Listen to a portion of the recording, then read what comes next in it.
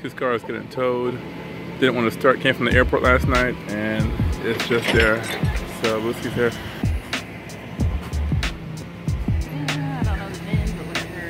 Dead car. We got the car home, tow truck, dropped it off. Couldn't do much, so that's that. Got the uh, battery charger hooked up to it, so tomorrow morning I'll take a look at it. Okay, so what I'm gonna do here just because I have the battery charger hooked up to the car right now and the battery is kind of fully charged. I'm gonna try to attempt to start it right now and see what happens, but I think it's just gonna crank and nothing else. So I didn't wanna do it just because I didn't want this thing to be excited or energized while I go to remove the parts in there and get electrocuted. But before I go into it, I'll just try it one more time and see if there was something just wrong with the system or maybe too much fuel in the in the engine, maybe a stuck a stuck injector or something. But here we go. I'm gonna try it this time, one more time. And if it doesn't fire up, I'm just gonna take it apart, um, disconnect the battery, and dive into it. That's that's all I got.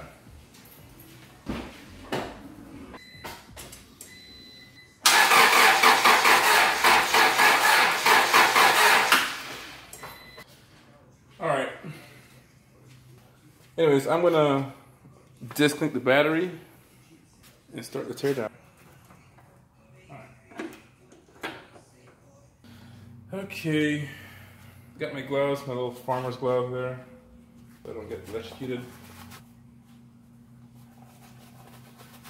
Alright. There's three screws here for this distributor cap. I already removed one from last night, trying to get this to work. So maybe I should. All right, that looks all legit. That's it. Pull this off. Uh, I'm gonna try to make some space here. Take these off the clip. All right, so this is your rotor right here. This spins as the engine turns. As this turns, it touches the contact on each one of these contact points here, therefore transmitting the electricity to your spark plugs which ignites the fuel air mixture and let your engine run. So I think we have fuel going to the engine. I don't think we have spark. So this uh, rotor looks pretty good in good condition. I saw it last night. The contact points in here look pretty good too. No rust or anything. There's a little bit of dirt in here, so maybe some leakage. What usually fails on these cars, these Hondas, is the coil pack and the igniter. So it looks like right, it looks pretty good, but you never know until you get in there. So I can't get access to this coil pack until I get this rotor off. Um, the bad part is that this thing is in a bad position. I have to rotate the engine until this turns where I can access the screw to take this rotor off the assembly. There's multiple ways to do it. I'm probably gonna do it with the crank pulley if I can find it.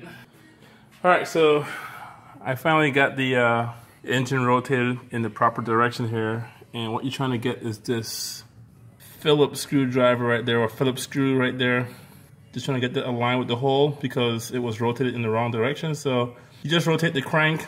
There's multiple ways to do that. You can either just hit the starter periodically till the engine rotates to that, that uh, specific place. In my case, I have the battery disconnected and I have the coil pack here, so I don't want to energize that. So my method was to use the crank pulley to rotate the engine assembly to where that screw is now visible.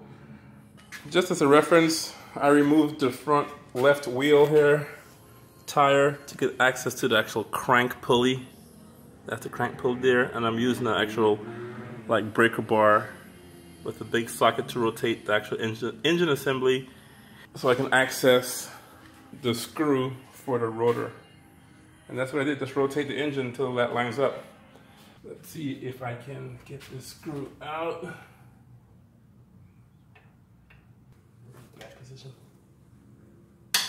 All right, so that broke, which is good to get that screw.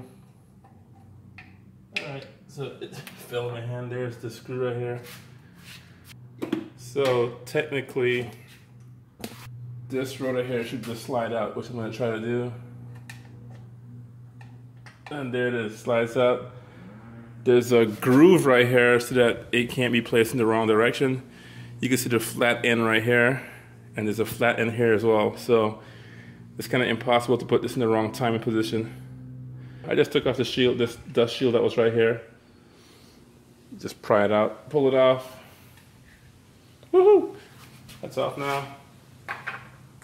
And everything under here looks pretty darn good. This looks like a relatively new, this whole assembly looks pretty new because it's a new distributor.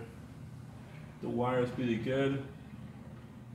It looks like a replacement part though. It's not, it doesn't look OEM. I can see a different branding on there. All right, so what I didn't show you earlier was these connections for the actual ignition. There's two wires. The one below says positive, the one top says negative, just two wires. I am gonna unscrew this. Just two screws, actually two screws holding it in, and then there's two screws holding the wire to the ignition. So I'm gonna move the actual wires first. Here's the first one. Isn't that pretty good? All right. Well, that's not good. Yeah. Never want to lose wires or lose nuts or bolts. I might have an extra one from my previous ignition coil. These are on pretty good, I think. All right, I broke that one. All right. There it is. A long screw or long bolt. I keep saying screw, it's a bolt.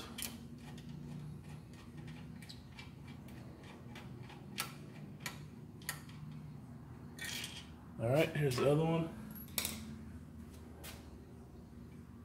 Just pull this off, and actually, yeah, the wire's already off. Boom, there's your coil. It looks like, it looks to be in pretty good condition. Well, it looks that way. All right, so the new one should be a direct replacement. Let's, let's compare the two.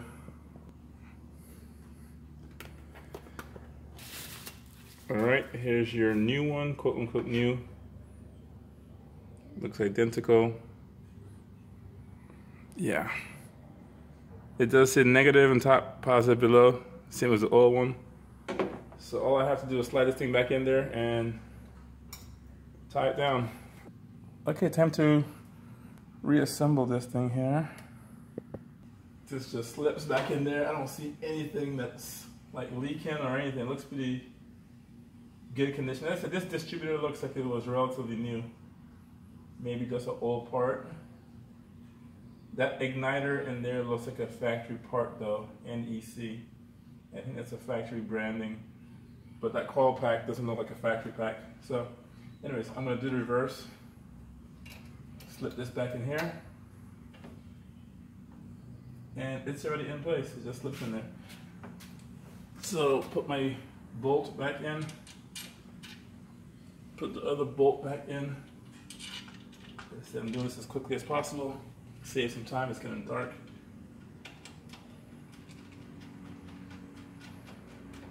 All right, tighten that down.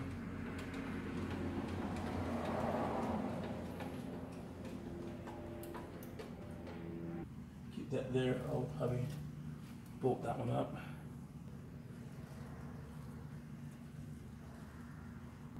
All right, so this one is in. Now I need a bolt for this one. Haha, I just got it. Fished it out. Dude, that was that was a task by itself. But I found it. Hopefully it doesn't drop again. That'd be so so bad. Whew. Alright. So there you go. All right, so I got both sides in there. I'm gonna put this shield, the dust shield back on here. It just slides on. Woohoo! That's fun. All right. All right, I know it's dark. Put this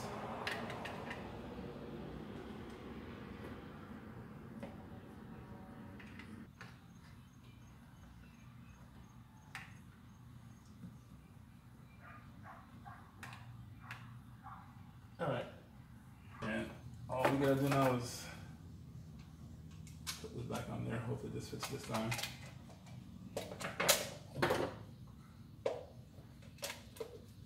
There you go. Tight fit.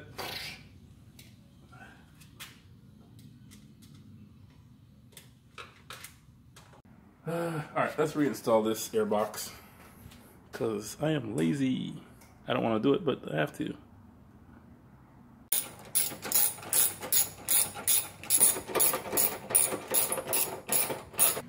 All right, Simple. Fits into this box, and that's it. That's all she wrote. Put this in here, creates a nice seal. Boom. Three screws holds this top box in place. All right, that's it. And that's how you change your distributor coil. All right, so is this thing gonna start or what? Let's find out. I'm gonna go inside to get the keys and we're gonna start this thing together. All right, guys, here we go. We are gonna get in here, which is pretty dirty. And I'm gonna attempt to start it up. If it starts, I'll just drive it out and we can wash this car together. All right, I can hear the fuel pump. Boom, it starts. So that's how you change your coil. And as you can see, sounds pretty darn good.